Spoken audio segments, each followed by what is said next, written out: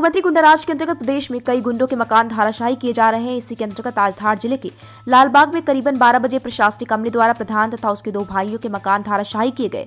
मकान अतिक्रमण की जगह पर बने थे कार्यवाही के समय SDM, SDO, SDOP Dhamnot, TI patwari तथा धार जिला प्रशासनिक अमला उपस्थित रहा। इन लोगों को पुलिस प्रशासन द्वारा कई बार अपनी कार को बंद करने की सीख सलाह दी गई, किंतु इन्होंने अपने कार को तथा उसकी सप्लाई को बंद नहीं किया। इसी के अंतर्गत आज उनके मकान ध्वस्त किए गए। मकान जेसीबी की मदद से धाराशाही किए गए।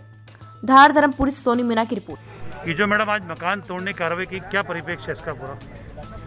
अभी प्रधान पिता बहादुर नाम के व्यक्ति के मकान तोड़ने की कार्रवाई की जा रही है। यह जो व्यक्ति है, वो एक लिस्टेड गुंडा है और उसकी एक गुंडा सूची और हमको एक उसके अपराधों की लिस्ट प्राप्त हुई थी, जिसके बाद उसकी छानबीन करने पर पता चला कि उसने शासकीय भूमि पर अतिक्रमण करके काफ़ी बड़ा मकान, तीन मंजिला इमारत खड़ी की है और अभी भी वो जेल में रहकर आया है और विभिन्न अपराधों के लिए सजाएँ काटता रहता है। तो उसी के मकान को धराशायी करने की प्रक्रिया जारी है। और भी कोई ऐसा मकान तोड़ेंगे मैडम आज?